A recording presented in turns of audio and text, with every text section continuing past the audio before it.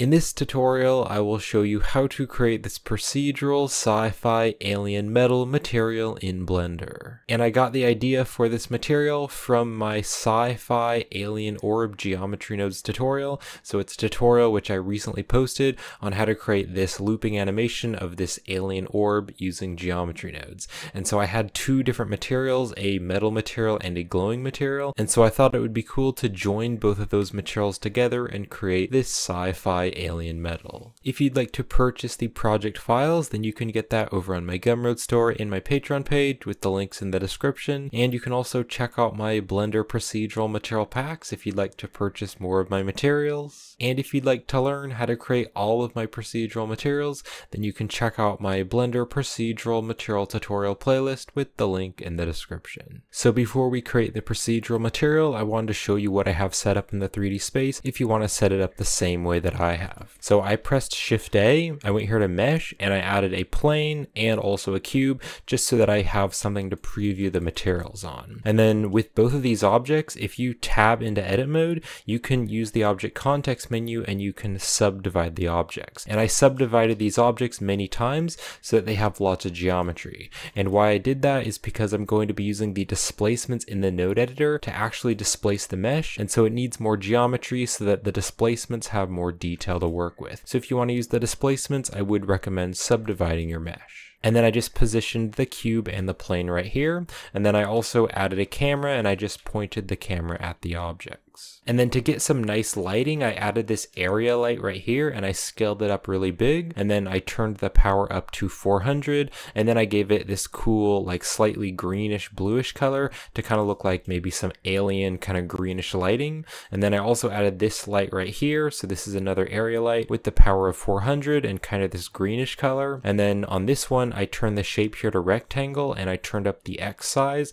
so that it is longer. So it kind of acts like a rim light and just gives some nice lighting here on the side of the objects. And then to get some nice realistic lighting and reflections over here on the world properties, I added in this Skylit Garage 1K HDRI. So this is a free HDRI from polyhaven.com. I'll have the links in the description if you'd like to download it. So if you add a new world, right here on the color, you can click on the yellow dot and you can choose environment texture and then you can click on the open button and open up the downloaded HDRI. And then to make it darker, I just turned the strength to 0.2 because I didn't want it to be too bright. And then also if you go up here to the render properties, if you want the background to be transparent, then you can open up the film tab right here and you can click on the transparent button and that way you won't be able to see the HDRI in the background. And then also to make the lighting and the colors a bit nicer, if you go to the color management, you can use the filmic view transform and then also you can change the look here to high contrast and this will pop out the colors and make everything more saturated and contrasty. So now let's go over the displacement settings.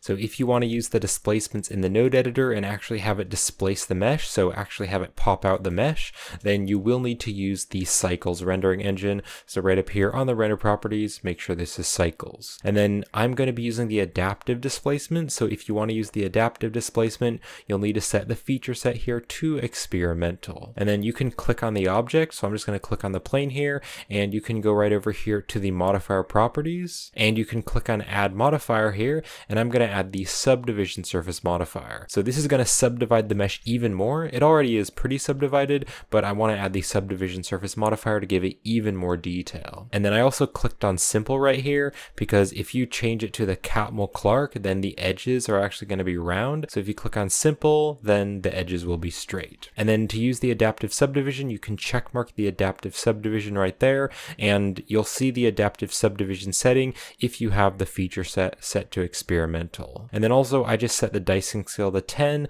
because I didn't need it to be too high detail. And then I did the same thing for this cube. So on the cube, you can click on add modifier and add the subdivision surface. And I set the Catmull Clark instead to simple. And I also turned on the adaptive subdivision with the dicing scale set to 10. So now let's add a new material. So I'm in the shading workspace. So I have the 3D space right here and I am in the rendered view and then I have the shader nodes over here. And I'm just going to click on the new button to add a new material. Now we need to tell this material that it can use the displacements. So let's click right over here to go to the material properties and I am going to scroll down to the settings. So to tell this material to use the displacement, if you open up the surface here under settings, we can click on the displacement here and we want to set this to displacement only. And then before we create the procedural material, I will also be using the Node Wrangler add-on. So if you don't have that enabled, you can click on edit and then you can go to the preferences and then click on the add-ons tab and you can search for Node Wrangler and then just checkmark the Node Wrangler add-on. So it's built into Blender and I'll show you how to use it in the video. So to start off, I'm going to create a cool sci-fi metal texture for the material. So I'm going to press Shift A. Let's go here to the search and I'm going to search for the brick texture and let's drop it down here. And then because we turned on the Node Wrangler add-on, I can hold down the Control and Shift key and select different nodes and that is going to preview the node on the object. So I'm going to Control Shift and select the brick texture. And then also with the brick texture selected, I'm going to press Control T. That's going to add the texture coordinate and mapping. Now I don't need the mapping, so I can select it and press X to delete it. And then I want to use the object coordinate, so let's take the object and I'm going to put that into the vector of the brick texture. And then I want another node in here to distort the vector of the brick texture. So if we add another node in here, then that node will distort the placement of how the brick texture is being placed on the object. So I'm going to press Shift A. Let's go here to the search and I'm going to search for the Voronoi texture and let's stick the Voronoi in between the object and the brick texture. And then I want to change some of the settings of the Voronoi. So let's click on the 3D and I'm going to change this instead to 4D.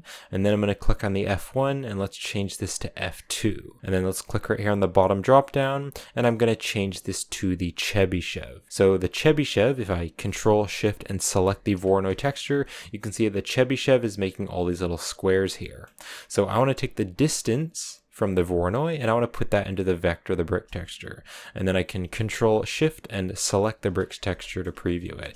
And you can see what it's doing. So we're getting this really cool procedural sci-fi metal texture. And if you want to change the randomness, you can change the W here, and that's just going to change the randomness of that texture. And then right here on the Voronoi texture scale, I'm going to turn this to a 3 because I think 3 is a bit better. Now let's change some of the colors of the brick texture. So I'm going to click on color 1 here, and I'm just going to turn this down a little bit so it's kind of like a light gray.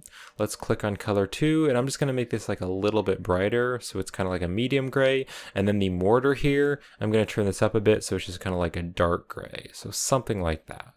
So I now want to put this brick texture into the base color of the shader. So let's pull out a wire from the brick texture color and we're going to put that into the base color and then I can control shift and select the principled shader to preview it. Now this is going to be a metal material so to make it metal I want to take the metallic and I want to turn this up to 1 so that it is fully metallic. And we can also turn the roughness down a little bit to make it more shiny. But I don't just want to use a single value, a single roughness value. I want some parts to be a little bit more rough and other parts to be a little bit more shiny. So what I'm going to do is press Shift A. Let's go here to the search and I'm going to search for a noise texture and let's put the noise texture above the Voronoi. And then I can control Shift and select the noise texture to preview it. And I want to use the object coordinate. So let's put the object into the vector and that way it'll be placed on the objects more evenly. And then I want to make this noise texture very detailed. So let's turn the detail to the max of 15. So I can now take the factor here and I'm going to stick this into the roughness of the principled shader. And then I can control shift and select the principled shader. So now you can see some parts are more rough, whereas other parts are more shiny. But I want to be able to control this better. So I'm going to press shift A. Let's go to the search and let's search for a color ramp. I'm going to click on the color ramp and let's drop it here in between the noise texture and the principled shader. So I can now change these colors and that's going to change how rough and shiny the values are. So I'm first going to click on the white tab and I actually want to drag the white tab out just so that it's a bit more contrasty. And then I can click on the white tab here and I can make it darker. And you can see if I make it darker, it's going to be much more shiny. So I just want to make this kind of like a light gray, something like that. And then I don't want this black tab to be fully black. So I'm going to click on the color here and I'm just going to turn up a little bit so it's just a very dark gray. Now I also want to put some data into the normal to give it some bump. So I'm first going to take the noise texture here, I'm going to take the factor and let's put that into the normal. Now you can see there's some weird shading issues, it looks super black, and that's because this is black and white data, but then this here is normal data. So we need to put a node in here to convert this into normal data. So I'm going to press Shift A, let's go to the search, and I'm going to search for a bump node, and let's put the bump node in the wire between the noise texture and the normal. And then we actually need to put this into the height value, so put the noise texture into the height of the bump so that it's actually converting it to normal data. And now it looks super bumpy, but that is way too strong, so let's turn the strength way down. And so I'm going to turn the bump strength to a 0.02 so that it is very subtle, but it will just give a little bit of bump and noise to the metal. Now I also want this brick texture here to be going into the bump, so let's click on this bump node and I'm going to press Shift D to duplicate and let's stick it after the first one. So the normal can go through the normal, so we now have another height value that we can add data into and it'll be converted to normal data. So let's take the color here from the brick texture and I'm going to put that into the height. And then we need to make this stronger, so I'm going to turn this up, and you can see now those little edges look like they're actually popping out. So I'm just going to turn the strength of this one to just like a 0.2, so it is a bit subtle, but those edges look like they're popping out now. You can especially see it right here in the reflections of the plane. And that is it for the base metal. So what I'm going to do is click and drag. That's going to add a box select. And I'm just going to drag and then let go. And that's going to select all these nodes here. I don't want to select the material output or the texture coordinate, but all the other nodes. I can now press Control J. And Control J is going to add this frame right here. And I can actually like bring these in a little bit just to like compact them, make them a bit smaller. And so this is just a nice way to organize the nodes. So I can drag this around. And this is all the base metal. So now now I'm going to be creating another material and that is going to be the emission and then we're going to mix them together. So to create the emission material, I'm going to press Shift A. Let's go here to the search and I'm going to start by searching for the emission shader. Let's put the emission shader right here above the principled and then I can control shift and select the emission shader and we can preview it. Now I want to add a little bit of noise into it. So I'm going to press Shift A. Let's go to the search and I'm going to search for the noise texture and let's bring the noise texture over here. And then I want to use the object coordinates. So let's take the object and we're going to put that into the vector of this noise texture. And then I want to take the factor of the noise texture and I can put that into the color of the emission. So now the emission is emitting the color of the noise texture. And then I want to change some of the settings of the noise texture. So let's just turn the scale here to like three so that it's a bit smaller. And then I want to change the colors of the noise texture because right now it's just white and black. So let's press Shift A. I'm going to go here to the search and I can search for the color ramp. Let's click on the color ramp and put it in between the emission and the noise texture. And then I want to click on the black tab here and click on the color. And you can of course make this whatever color you want, but to make it look like an alien sci-fi metal, I'm going to make this a bright green color. Maybe just make it a little bit darker. And then I'm going to click on this white tab and this one is going to be a similar color. So it's going to be green and it's going to be bright, but it's going to be a little bit more yellow. And I could also take this green tab and drag it over to make it a bit more contrasty. And if you want to use the exact same colors that I'm using for the green colors, for this lighter green, I'm going to be using a hex value of 6A FF24. So you can punch in that value if you want to use the same exact color that I'm using. And then for the slightly darker green, if you click on the color and go to the hex, I'm going to be using a hex value of 1B C6 zero, zero. And then I do want to make the emission much brighter. So let's turn the strength to like a 10 so it is very bright.